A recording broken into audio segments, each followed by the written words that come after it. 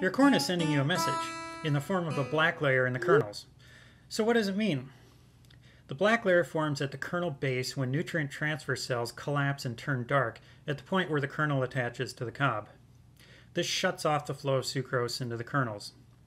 Typically, black layer signals that the corn plant has reached physiological maturity and grain fill is completed. But sometimes black layer can appear early if the plant has experienced leaf loss due to hail or disease, severe drought stress, or an extended cold period during grain fill. So why is that?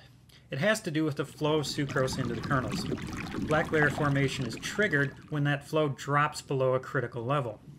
This can happen when the plant reaches maturity or when photosynthesis has been sharply reduced by some sort of stress to the plant. Either way, black layer signals that grain fill is done, and it's an important indicator to watch for when planning for harvest. Check out the link for more info.